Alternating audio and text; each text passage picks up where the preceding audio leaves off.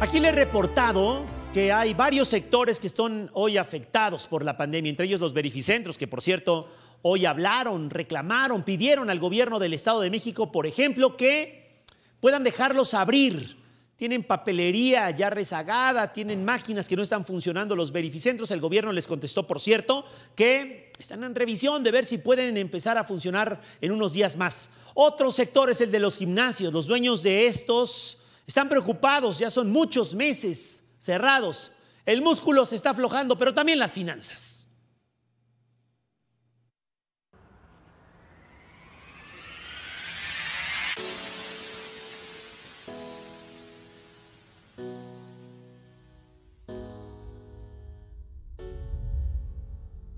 Víctor es copropietario de un gimnasio. Con la llegada de la pandemia, él y sus socios se enfrentaron a la cancelación del 60% de sus usuarios. Tuvieron que cerrar por cinco meses, lo que provocó que cambiaran su ubicación a un lugar con renta más accesible reabrieron el pasado 17 de agosto y todo era optimismo aún con el semáforo naranja, pues se les permitió reabrir con aforo del 30%, pero el pasado 18 de diciembre regresó el semáforo rojo a la entidad y fueron obligados a cerrar de nuevo, esta vez ya más adaptados al entrenamiento en línea.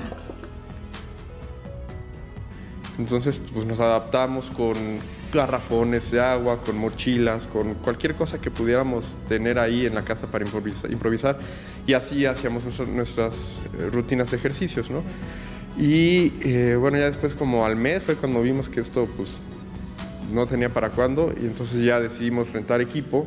Y eso fue como que una de las bondades de nuestro giro, que, que al final de algún modo sí podíamos continuar este, adaptándonos.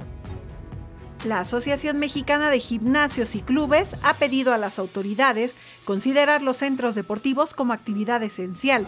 Entre el Estado de México y la capital del país hay unos 4.150 gimnasios, que equivalen al 32% de este tipo de establecimientos en el país. La asociación afirma que tienen comprobado que en los gimnasios se generan 0.6% de los contagios de COVID-19, mientras que el 73.84% ocurren en reuniones sociales y en entornos familiares. Muchos usuarios han seguido entrenando en línea y se muestran optimistas ante la posibilidad de que estas unidades económicas pudieran reactivar sus servicios con aforo limitado y en espacios abiertos, tal y como sucedió recientemente en Ciudad de México.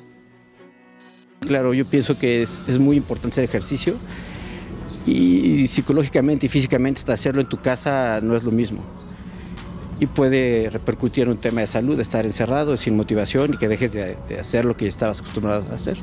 Sería lo mejor que pudiera pasar porque lo necesitamos, o sea, sí necesitamos salir de la rutina, o sea, de estar encerrados todo el día en casa, sí necesitamos como ese tiempo de, de acudir a un lugar y poder darte un tiempo para ti.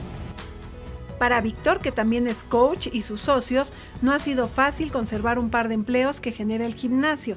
Hasta ahora trabajan entrenamiento en línea y reconoce que todos han tenido que buscar una actividad extra para poder solventar sus gastos.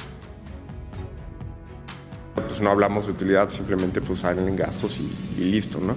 Pero pues la idea es estar aquí para cuando todo esto pase. Según estimaciones de la Asociación Mexicana de Gimnasios y Clubes, las pérdidas mensuales para este sector ascienden hasta los 1.500 millones de pesos. Propietarios y usuarios esperan con ansia la reapertura de estos espacios. Con imágenes de Ricardo Cerda, edición de Alejandro Molina, Alejandra Guzmán Juárez, Noticieros Televisa.